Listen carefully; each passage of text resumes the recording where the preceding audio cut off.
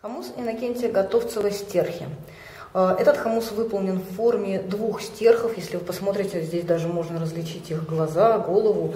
И это их э, крылья и хвостик.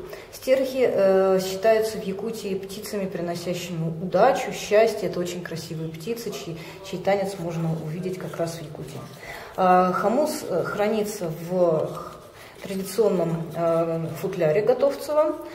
А, это инструмент, сделанный из э, железа, вырезанная форма, а, язычок крепится на болт, а, язычок находится в углублении рамы, рама выполнена очень определенным образом, это тоже э, разработка мастера, сам язычок с хорошим э, углом, как мы можем видеть, и у него односторонняя заточка. Теперь